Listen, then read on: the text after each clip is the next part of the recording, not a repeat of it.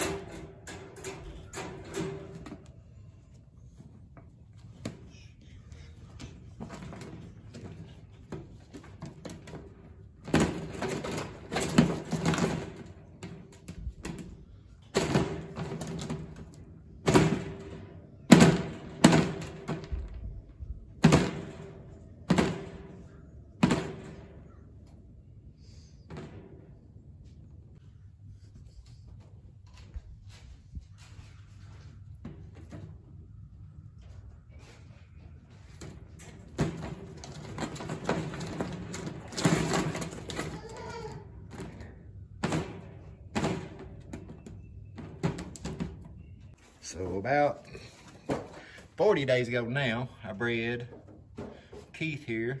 It's a New Zealand white with Rose. There's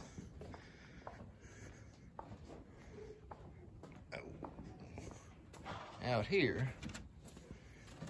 Rose. Get in here and see her. But, uh, I only had one fall off with those two. And so I wasn't positively for sure that she was pregnant. And it wound up that she was. But I keep track. I got a calendar up here in my barn. I keep track of everything. Uh, when I got my pigs. Uh, this, uh, let's see, what's that say? Put Betty in with Jeffrey here. Uh, breeding Rose. Betty, but keep everything marked down on the calendar. My mistake I made with Rose on that one was I watched a video and either I misunderstood it, I'll just say I misunderstood it. But uh, I counted my days wrong. So whenever she was what I thought was due, she had passed that date up. And so I really didn't think she was pregnant because she only had the one fall off. So I didn't do anything. I keep hay in here. So this side over here actually had hay in it. This side over here is just the screen bottom. Uh, on day 31, she actually had her litter that day, or that night. When we come out that morning, they were all over here on the screen side. Uh, and then none of them made it. So that's, I'm taking blame on that one. Uh, didn't do enough research, I guess. But she lost all that litter. She had one litter before and she had them over here. She only had three and one of them made it. She built her nest, she pulled her fur out, built her nest and everything before she had them.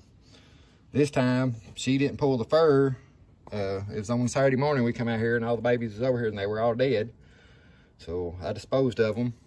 Come back this that evening to do their feeding and she started building a nest. So uh, they don't always necessarily make their nest before they have them. I figured that one out. So that's kind of one of the things I was watching for was for her to make her nest. Then I thought she would have them, but so that was my one of my mistakes. Count my days wrong and expecting her to make a nest before she had them. So that that was my mistakes. Uh, so this time I bred her and Keith again this morning. If you guys watched that video, um, I got my days figured out this time on my calendar uh, show you what they've done on my calendar here. But, uh, oh. Gotta go up to March. I actually marked them February when I bred them. But Betty, uh, she's due here. There's five days there that she should go in that five days. Rose is down here with the new breeding. I get the five days. Now it could be longer, but shouldn't be any earlier than that. That's 28 days. And I got it marked up to 28, 29, 30, 31, 32. I got marked up to 32. So uh, could be a little longer than 32, but most likely it won't be before 28. But, uh, but Jeffrey and Betty here should have the next litter.